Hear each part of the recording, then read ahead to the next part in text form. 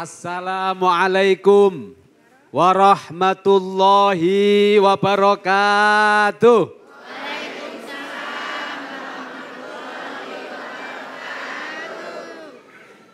Alhamdulillahi rabbil alamin. Alhamdulillahilladzi ja'alana minal muslimin wal mu'minin wa razaqana bit ta'ati wal ibadati wal istiqamah. Bareng-bareng membaca syahadat. Ashhadu an la ilaha illallah wa ashhadu anna muhammadar rasulullah sallallahu alaihi wasallam.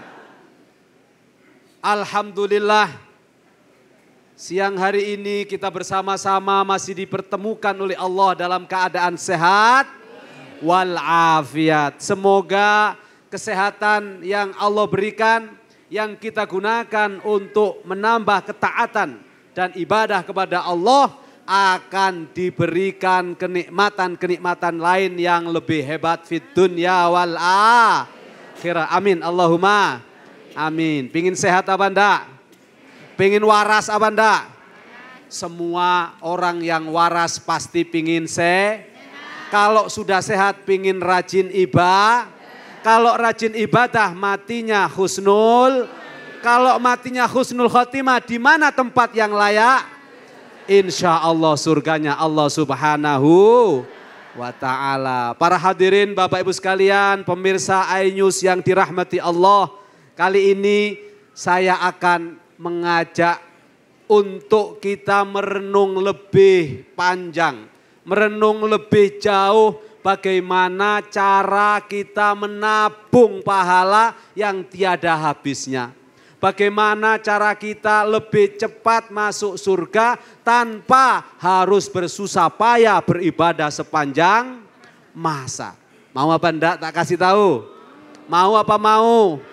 Pasti mau. Tadi kita sudah diajarkan oleh guru-guru kita yang terdahulu bahwa anak adalah titipan Allah untuk kita semua. Betul apa betul? anak adalah amanah yang akan dimintai pertanggungjawaban oleh Allah kepada kita semua. Betul apa betul? Maka siapa pun yang punya anak wajib hukumnya untuk mendidik, untuk mengajari yang benar dan memberi teladan yang baik.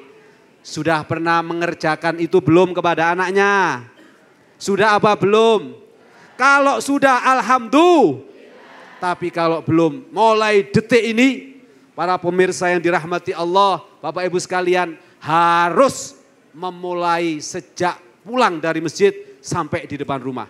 Bahwa anak saya ke depan harus menjadi anak yang lebih baik. Karena anak itu akan menjadi syafaat atau penolong kepada kita ketika kita sudah meninggal dunia atau dia akan menjadi penuntut kita di padang akhir.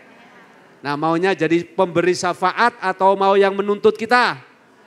Tentu kita ingin anak-anak kita memberi syafaat atau menolong kita saat kita sudah meninggal. Bagaimana agar anak-anak kita itu menjadi penolong kita? Rasulullah Shallallahu Alaihi Wasallam mengingatkan dalam salah satu hadisnya yang sahih, Idza mata bnu Adam in amaluhu illa min thalath.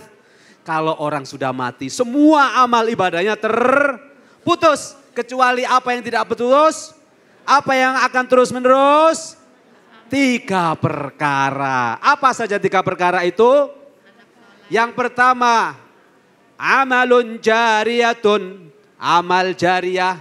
Yang kedua, ilmun yuntafa'u bihi, ilmu yang bermanfaat. Yang ketiga, waladun salihun yad'ullah, anak-anak yang kita tinggalkan yang jadi anak yang so.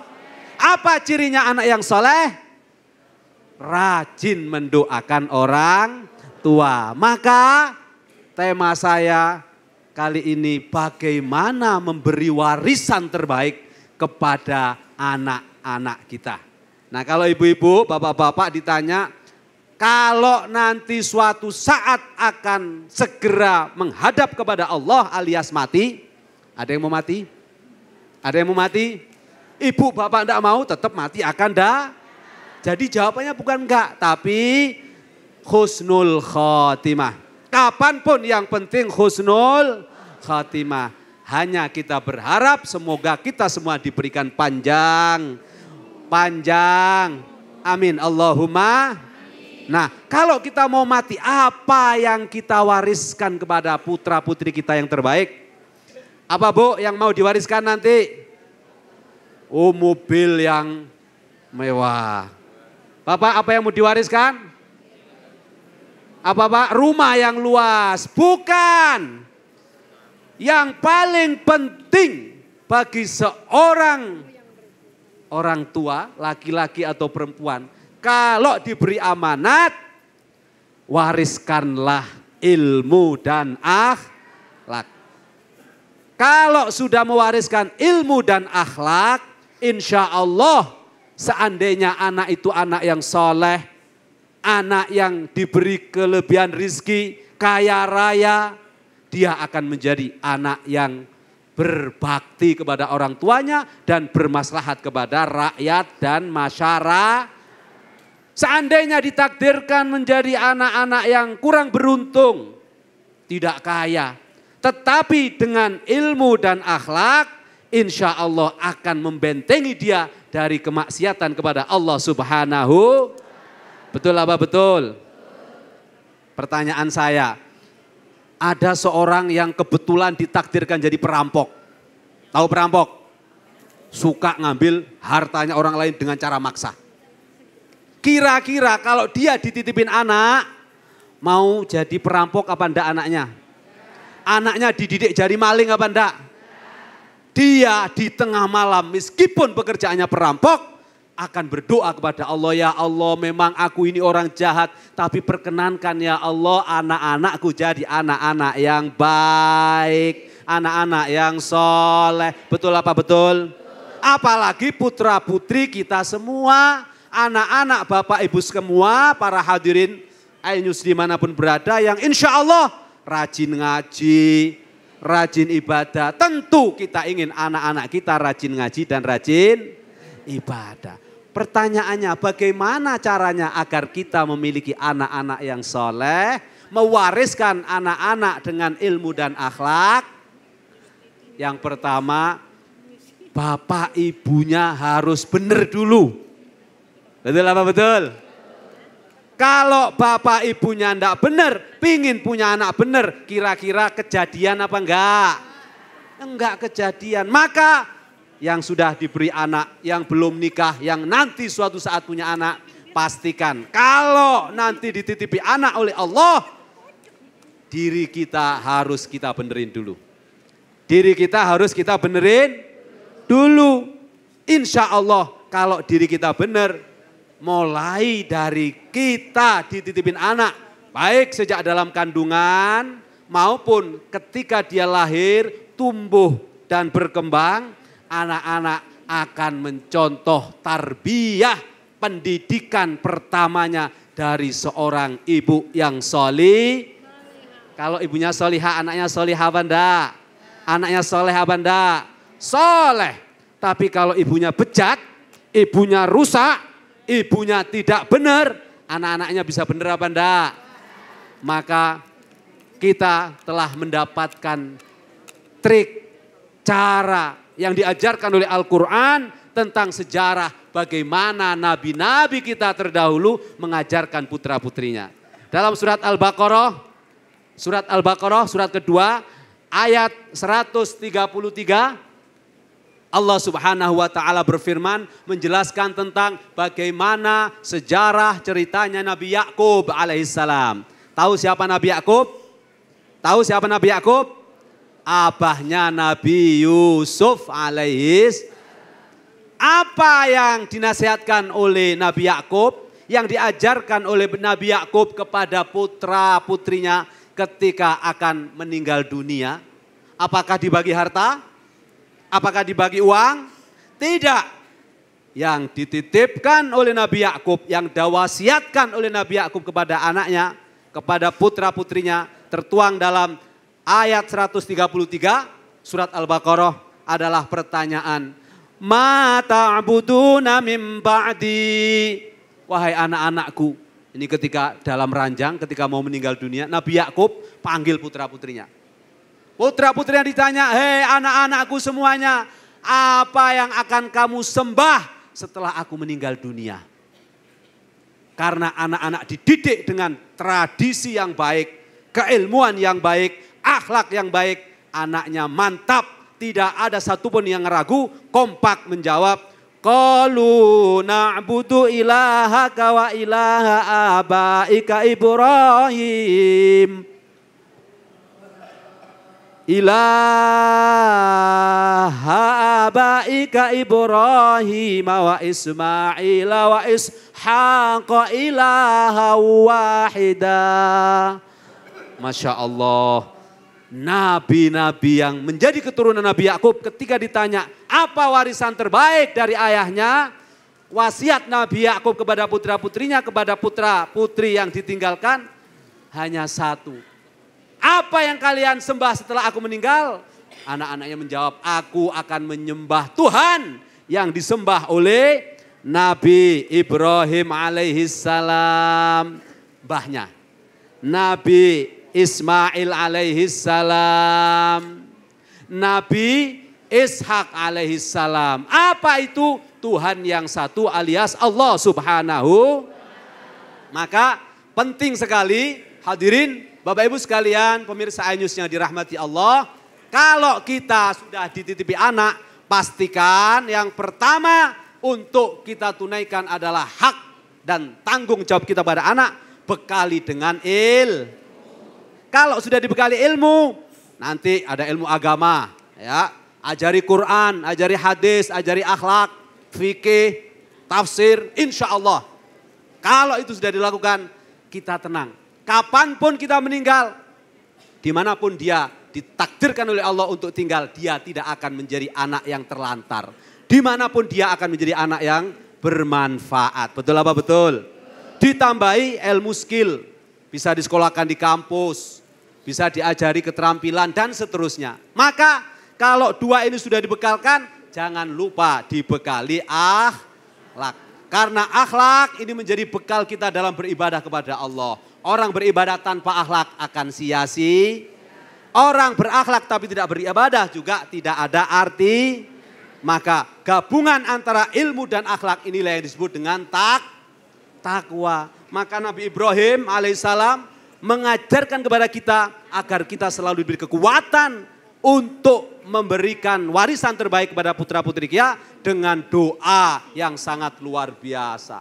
Ini doanya Nabi Ibrahim doanya Nabi Zakaria, doanya nabi-nabi yang bisa kita contoh. Caranya bagaimana Pak Ustadz? Setiap habis sholat baca doa ini. Insya Allah paling buruk anak-anak kita tidak akan menjadi anak-anak yang berandal. Tidak akan menjadi anak-anak yang nakal. Bagaimana doanya Pak Ustadz? Ayo bareng-bareng kita baca doa. Robbi habli milladunka zurriyatan tayyibatan Innaka sami'ud du'a.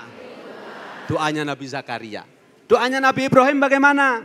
Rabbi habli minas salihin.